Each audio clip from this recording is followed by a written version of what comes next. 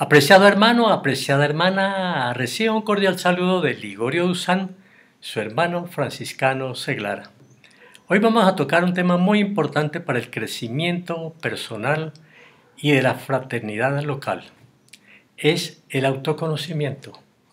¿Por qué es importante el autoconocimiento?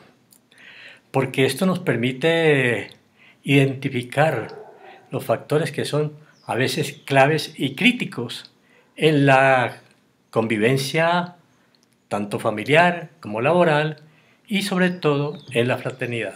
Así conocemos cuáles son nuestras fortalezas y cuáles nuestras debilidades para potenciar, para potenciar las fortalezas e ir eliminando aquellas debilidades que nos impiden crecer como hermanos en una fraternidad.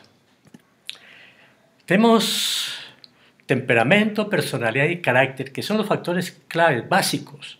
¿Y cuáles son las diferencias? Temperamento es la base biológica del comportamiento de una persona.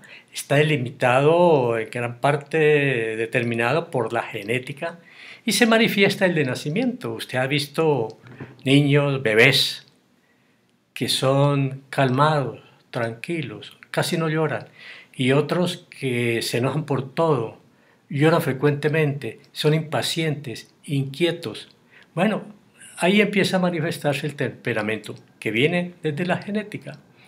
La personalidad, pues son características y patrones de comportamiento, pensamiento y emociones que definen una persona, se desarrolla a lo largo de la vida y está influenciada la personalidad tanto por el temperamento como por las experiencias y el entorno. Y el carácter es el conjunto de hábitos y valores que una persona ha adquirido a lo largo del tiempo. Aquí influye también la moral y la ética de una persona.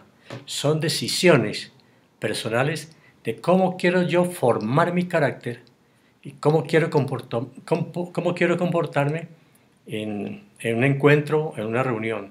¿Cómo es mi carácter? Eso es lo que se aprecia externamente como lo vemos aquí en esta figura. La pepa, la semilla, es la genética, es el temperamento. La pulpa es eh, la personalidad y la corteza, áspera, grave, suave, es el carácter.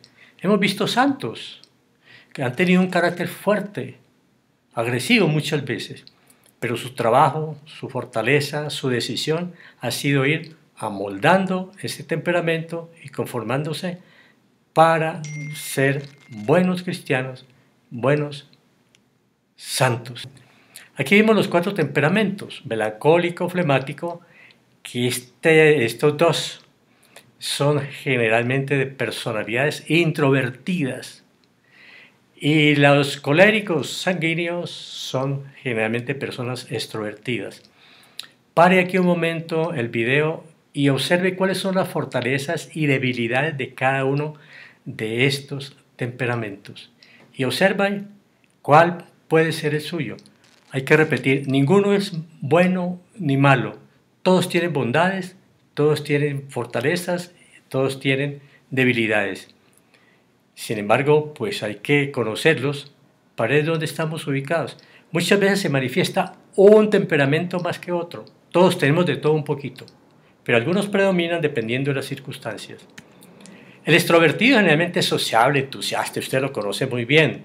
El introvertido también lo conoce, ¿no? Observe a los hermanos. Bueno, obsérvese usted mismo. La invitación es que haga usted, hermano, hermana, haga un test de personalidad para conocerse mejor. Por internet puede usted ver algunos eh, test gratis. Lo invito a que lo haga.